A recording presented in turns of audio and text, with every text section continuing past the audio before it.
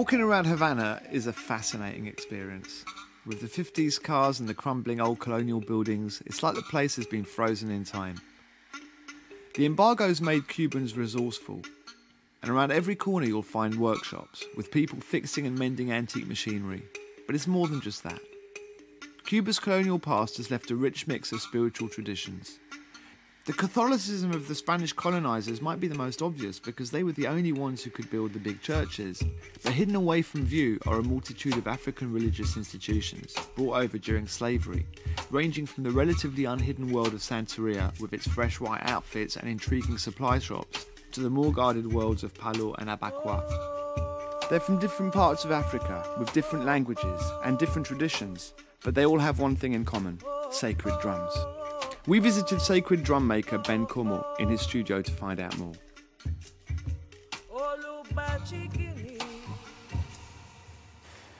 Esta tarea tiene más potencial religioso que artístico. Ben Como explained to us that in Santeria, Ifa drums are actually considered to be living beings. Es un ser viviente. El tambor de consagrado es un orisha, como le llaman en Cuba, un santo. Porque el tambor come, tiene su cumpleaños, y todo lo que nace se cuida con amor. Hay que atenderlo.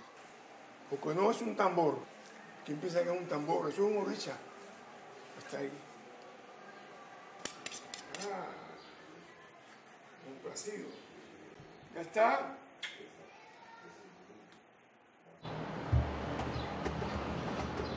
There's clearly much more to these drums than just percussion. The influence of the sacred spreads throughout rumba.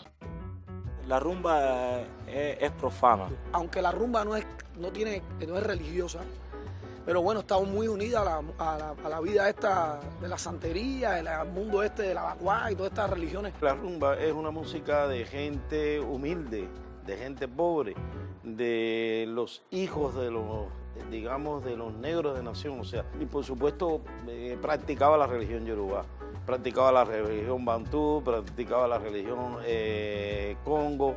and to play rumba and to be a part of the rumba world it is kind of implicit that you've got some connection to the kind of the religious world here because they completely overlap you know. certainly amongst the musicians Bueno, mi grupo sí, está mezclado de abacuá, de yoruba, de, de, de palero, de todo, pero todos nos llevamos bien, todo, no, hay, no hay ningún problema con, con eso. En mi casa no hay nadie religiosa, mi papá es un oficial de la Fuerza Armada y mi mamá es de- del Ministerio del Interior. En mi casa nunca ha habido un eleguá ni eso. Entonces nunca había visto eso, ni nunca había visto la rumba tampoco. Entonces ahí me incorporé a aprender el, el batá que me llamó la atención. Un buen día me invitaron a una fiesta de santería. Cuando aquello, la santería estaba prohibida en Cuba, es decir, todavía no estaba muy... Y mis padres me acuerdo que se erizaron, me dijeron, ah, eso matan a los niños le cortan las manos. Y eh, fábulas de esas ancestrales que, que son inciertas. I wasn't aware of these horror stories. They're a legacy of colonial racist attitudes towards African culture. And so it was with an open mind that I went along with Dayme to my first experience of Santeria. Crispin had invited me to an Ifa ceremony to celebrate the initiation of some brand new babalaos.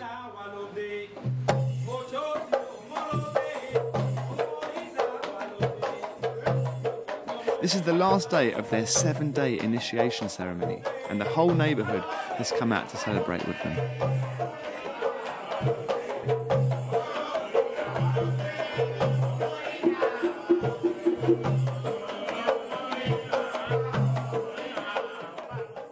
both in bata music and religious music and in rumba the pitch the different pitches of the drums is absolutely critical they have, have to have clearly distinguished pitches low middle and high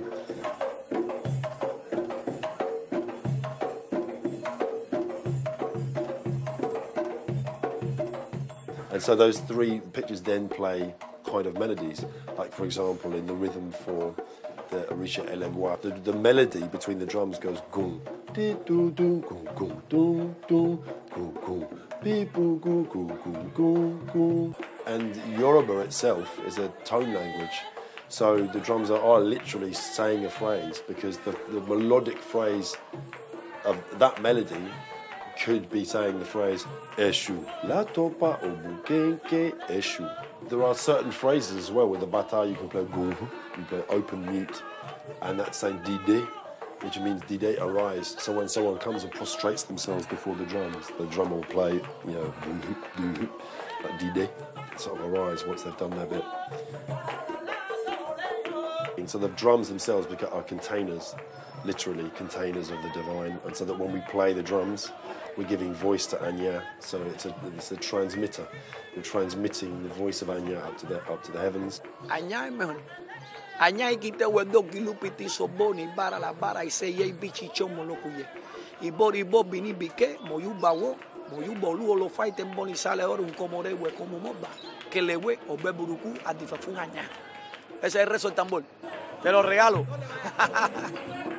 Y en la rumba, cuando las personas que la ejecutan son conocedores o son religiosos, también eso trajo que hicieran otros toques, porque llevan toques del batá a la, a la tumbadora, y ya eso hace que la rumba se sienta diferente. And you know, it is similar in a way to people like Ray Charles, Aretha Franklin. You know, taking gospel and taking the you know gospel chops and taking that approach and that energy and that passion and soul and heart, and then putting it into you know popular music.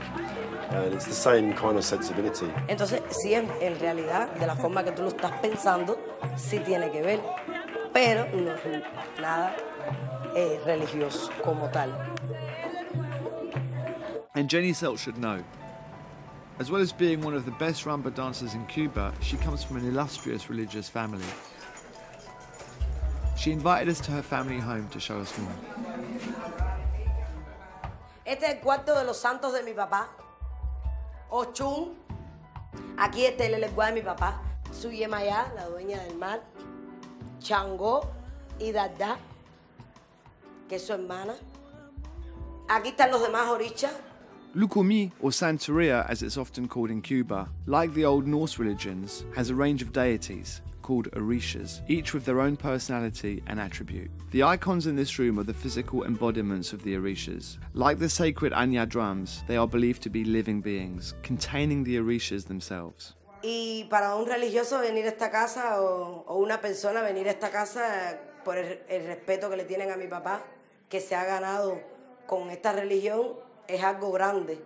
Así que para usted también decir, yo estuve en casa de Chacho, en los va, uno de los grandes continuadores de la religión santería en Cuba, también va a ser un honor y un orgullo para usted. Like the drum maker Ben had explained, these Orishas needed looking after and feeding. And in the other room, Jenny Selt showed us their food. Estos animales los utilizamos para darle de comer a los diferentes orichas. A los que comen palomas le podemos dar paloma, a los que comen gallina, gallo y la guinea. Aquí en en este cuarto tenemos cuarto de la prenda. Este es el fundamento de la casa. Este, esto es una matica pequeña. Y el muerto de mi papá le pidió que, lo, que mi papá le sembrara en el patio de la casa. Y le dijo que así como esa, esa mata iba a crecer, iba a crecer mi papá en la religión. Es el cuarto de la religión de, de palo. Porque las prendas es de los paleros y esas cosas. El palo es la religión que viene del Congo, religión diferente a la santería como tal. Los, los paleros adoran todos los elementos de la naturaleza y todos los diferentes receptáculos. En esta prenda que ustedes ven aquí, que es la mía, eh, hay de todo tipo de animal, de todo tipo de palo. pa- Y es una prenda que es para bien. Ahora mismo está así porque, no, si sientes un poco de dolor fuerte es porque acabó de comer. Y esto es para fuerza espiritual, material, para todo. Y el dueño de esa mata está aquí en este lugar. Just like Santeria with its bata drums, Palos also had a musical influence on the rumba. Del palo venían los, los congos. El palo es una cosa más fuerte. El, el palo se trabaja con, la tierra. Todo es muy fuerte. Los movimientos del baile es fuerte. Al tocar eh, la percusión, y no que lo diga yo, soy uno de los percusionistas en Cuba de los que más fuerte le pega a la tumbadora, sino que fue que eso fue lo que yo vi en mis familiares, en los plantes religiosos que siempre tocaban muy fuerte. Eh, me gustó mucho tocar el quinto y tocarlo fuerte. Eh, eso es el sentimiento de lo que es la percusión para mí.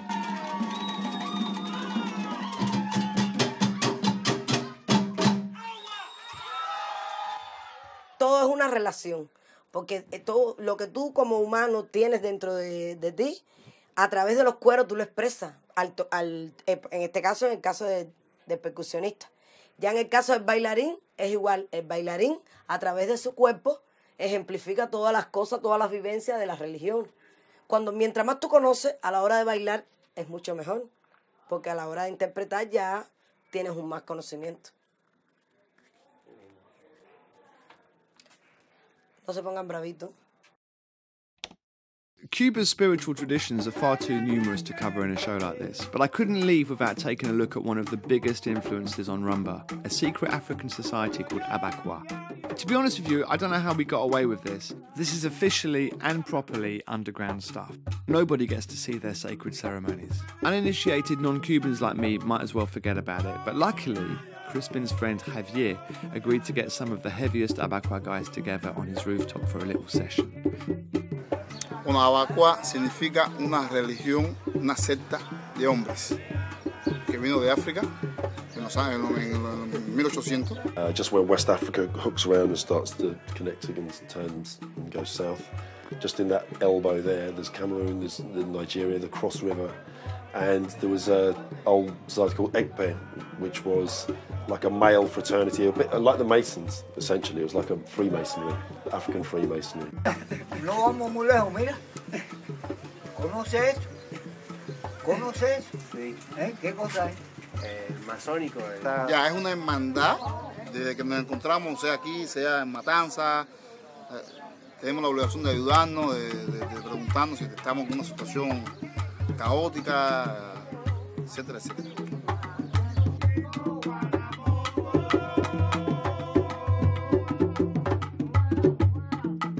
The sacred texts of Abakwa are handed down orally from generation to generation, and when members of the Brotherhood get together, they recite Abakwa histories, quoting scripture in the form of sacred journey songs. porque esos señores que están ahí, ellos como que se prueban a ver cuál de los dos tiene un poco más de, conocimiento, ¿no? Es la, es la, es la, la- idea. Ellos pasan por, una, ¿eh? por un camino bien largo, si- si encontraron un río, si encontraron el mar, ¿eh? ¿A, quién, ¿a quién viste? Si viste a, un dios, por eso que se dicen a veces, no, ese no quiere decir de que antes de llegar ahí había que pararse primero y rezar algo y después seguir y no lo hiciste. No a discutir, ¿no? Solamente a, a- descubrir los conocimientos de cada cual para ver a dónde van.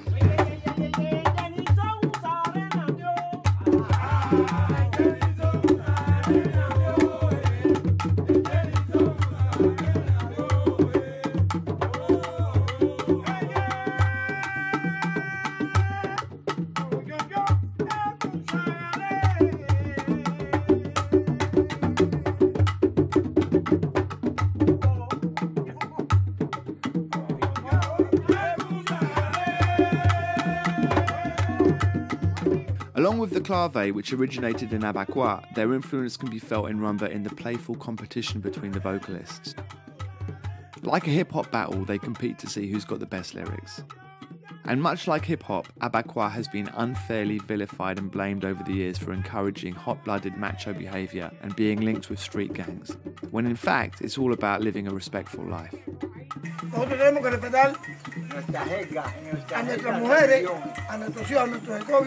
Defender a los familiares de nuestros ecobios, ser social, buen padre, buen hijo, buen hermano. Bueno, eso es lo que se hiciera. Cuando hay un hermano que tenga una desgracia, nosotros acudimos a él. Nosotros somos hombres limpios, limpios, limpios. Hombres limpios. ahí se resume todo. Y estamos en la religión agua porque nos gusta. La vida mía es el agua. Y bueno, soy un hombre decente, educado, trabajador, honrado. Cuando yo me encuentro en este mundo, ¿eh? yo me siento el hombre más feliz de que no no dinero.